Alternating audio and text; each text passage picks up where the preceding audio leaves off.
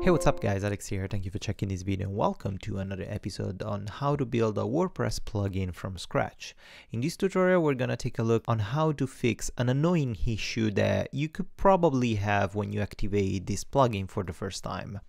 So right now what we did in, in the previous lesson, we optimized the saving of our custom options to just use an array of data and not a single uh, options field every time we save something. At this point though, we should run a test because right now everything works. If I update something, if I change some toggles and I save it, everything is saved properly and I don't have any issue. The problem though is that we should always test our plugins with no pre-existing data because that's the situation that a new user will uh, find himself when he or she installs the plugin for the first time. So we should always simulate and test that option when we activate the plugin for the first time and we start doing things with zero data saved in our database. So right now in our database in the WP options, if we open it here, we have the array with all our data, but let's delete this stuff and remove this row. So right now I don't have any custom options, any saved data for my Alecaddd plugin. And of course, if I refresh this, this is completely blank. So basically we're simulating the uh, first activation of our plugin when a user doesn't have any data saved in the database. So as a test, if we go inside the Alecaddd dashboard and we say, okay, I want to activate a bunch of options. I want to activate the custom post manager, the gallery manager, and the Ajax login and sign up. If we click save changes, look what happens all our checkboxes are saved. These happens, I'm not sure why, but these happens during the uh, sanitization of our checkboxes because we're using that dynamic array. So if we access the API callbacks and manager callbacks here, we have our checkbox sanitized that is looping through all the options and it's saving, it's setting to true or false, uh, depending on what we have checked or unchecked during our form post. The problem is that the first time, as you notice, that we save something in our database, if we refresh and we open the custom options, the Alecaddd plugin, WP options that we just saved, every single option is checked. So it's set on through. And this is a mistake that shouldn't happen. I'm not really sure why it happens, but I have a solution that I use pretty much every time that I have a plugin that needs to set a predefined sets of options. Because if we try again, if we access again our administration arrow, we uh, deactivate a bunch of things and then we save, now our changes have been saved properly, so the registration of our options, if we refresh this table and we open it, now we have the proper data with some is true and some is false. So my approach when I have something like this, especially when I have a section, uh, like in this case, the, the, dashboard that manages the activation or deactivation some specific area, I need some pre-existing data in order to not screw up the plugin completely because I need to check the data if it's there, if it exists, and I need to activate or deactivate some specific options. So I need to set something by default as soon as the user activates the plugin for the first time. And luckily, we have already the activation hook that we generated in our Alecaddd plugin.php, the base folder. Here on activation hook, we're calling the Inc base activate activate method. So we can use that method to store an empty data, in our case the Alecaddd plugin array with everything set to false, everything set to zero. And with this action we can first set our default data that is necessary for us to activate and deactivate specific sections based on user options. And then we solve the issue that the first time that the user saves something, everything is checked and it looks like a stupid Christmas tree. So let's take care of updating our plugin to make it work. First, let's access our Inc base folder and then activate. Inside the activate option, right after the flush rewrite rules, we want to first check if the Alecaddd plugin option already exists. And if already exists, we should interrupt the execution of this script because we don't want to overwrite some options that probably the user already has. And if he deactivates and reactivates the plugin again, we don't want to overwrite that option. So let's check if we have the get option and here we're tapping directly the settings API to check if we have an option saved and the option saved we know that it's alecaddd underscore plugin. If this is not empty, we should simply return the script and interrupt the execution of whatever things we're gonna write later. Perfect. Now in order to test properly these things, let's do something. Let's access our database and let's delete the Alecaddd plugin row. And of course, let's access the administration area. Let's refresh, nothing is here.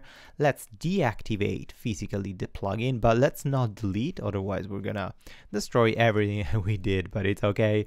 Um, okay, so if we activate, of course, nothing happens. We didn't specify anything here other than checking if the Alecaddd plugin options is set, but of course is not set, so the script can continue the execution. So let's deactivate again our plugin. Let's continue first by uh, defining a default array of options where everything is zero. So what we have to do basically after all our calculation, we need to trigger one default built-in method of WordPress called update underscore option and the update option automatically takes care of updating whatever option we pass if the option exists. Otherwise uh, it creates this new option from scratch. So in our case it's perfect because we are checking if the option already exists. We don't want to do anything. If it doesn't exist let's update this and uh, we need to pass as a second parameter the value that we want to store. In our case it's going to be a default array. So let's call this variable default that we don't currently have. So let's define these default equal to array and let's test this thing. So first, let's go back in our administration area, let's refresh and let's check our database, let's refresh our list of options, you can see we don't have anything named Alecaddd plugin.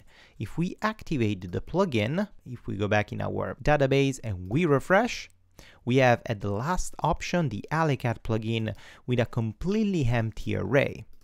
So now, if we go inside the dashboard, you can see here we have an issue because our array is trying to detect if we actually have an option for every single checkbox inside our Alecaddd plugin. And the Alecaddd plugin settings in the WP option is set, but we don't have anything inside our database that reflects the single names of all our keys in our managers array. So we don't have a CPT manager, we don't have a taxonomy manager, and this is the error. Like here, CPT manager is an undefined index on line 33. We can solve this issue by simply checking if actually we have that index properly defined. So let's update a little bit more our code and let's go inside our manager callbacks in the checkbox field where we are generating the checkbox field, the issue is happening right here where we are trying to detect if the option is checked or not. But the problem is that this option doesn't exist because the checkbox variable gets the option name that in our case is Alecaddd plugin. So we are simply saying, hey, is the Alecaddd plugin uh, inside here, inside the array, for example, it's the Alecaddd plugin custom post type manager, true or false?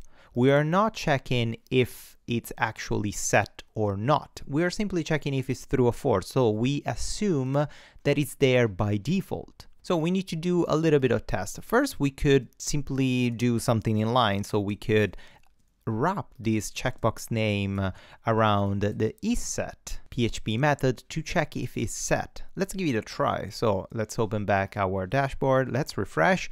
We don't have the issue anymore. We don't have the error in our database. We never saved anything. So the array, it's always completely a zero.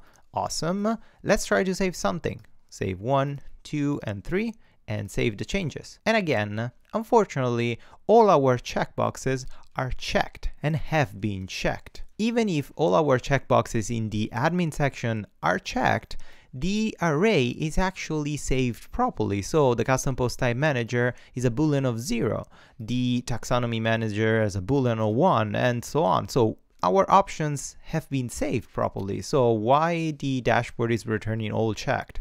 Well, because we changed the callback for the checkbox manager.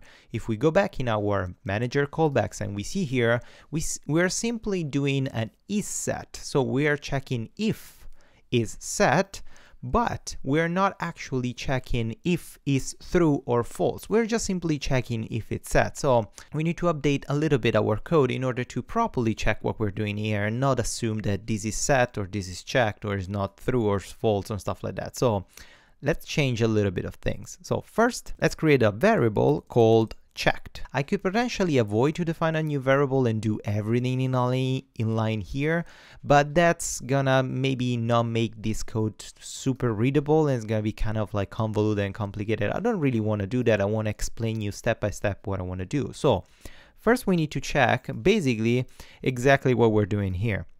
Let's cut this and check. So if this is set, so the checkbox name exists, we can do something Otherwise, we can return false. Inside whatever here we want to return, we don't want to return through because true means that it doesn't matter if this is checked or unchecked. If it just exists, we want to return through and we're going to have the same exact problem here that all our checkbox are checked. Inside here, instead of true, we can do another inline shorthand if statement. Even if it's not the most elegant solution, it's really short and really simple. So after we have this, we can open and close, instead of the true, open and close again the regular brackets and just simply type the checkbox here. And if the checkbox is true, let's return true. Otherwise, we can return false. And then let's remember to set the variable checked inside here for our inline if statement. So if the checked is true, let's print checked as a parameter of our checkbox. Otherwise, let's not print anything. Let's save it. Let's go back in our dashboard and let's refresh. There you go. We updated our code. You can see here now the checkboxes are reflecting properly what we have in our database. When something is unchecked, the custom post type manager, our custom post type manager is unchecked. If the taxonomy manager has a boolean of 1, it means it's checked. That's perfect.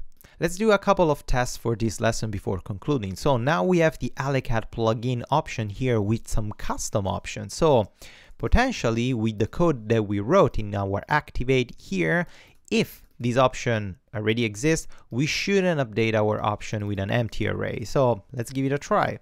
Let's go in our plugin section. Let's deactivate this plugin, deactivate it properly. Let's activate it again. Nothing happens. Let's go in our dashboard. Our checkboxes are still there, which is fantastic. Let's refresh. Yes, the data didn't change. Let's do one last test. Again, let's delete the Alecaddd plugin WP option. Let's refresh our dashboard and everything is unchecked. Perfect. Let's go in our plugins, deactivate the plugin. Awesome. Let's activate the plugin.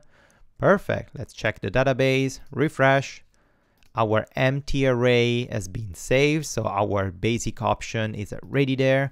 Let's go in our Alecaddd dashboard. Let's save a bunch of things and save changes.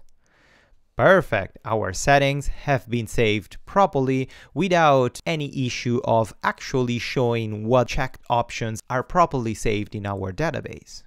So it's pretty much it for this lesson. This was a super quick and short uh, lesson just to fix an annoying issue that I discovered last time. But if you guys find a better solution, or if you guys find the reasons why the first time you save something all the options are checked by default, please let me know in the comment below. This is kind of the solution that I always use when I know I have an array of arguments that I need to have like a default value and I by default just save an empty array. In futures lesson we're going to take a look on how to clear our database because right now we're saving a bunch of things but of course on uninstall when the user deletes our plugin completely before deleting we need to actually clear the database and not leave a bunch of garbage in the user's database if it doesn't want to use our plugin anymore. So it's pretty much it for today's lesson. I hope you enjoyed. If you did, please give it a thumbs up or subscribe to my channel. And if you want, you can spend a couple of minutes on the support me page of my website where you can find all different ways and methods to support me, support my channel, and help me to do better videos and better tutorials for you. Thank you again guys, and until the next lesson, as usual, happy coding!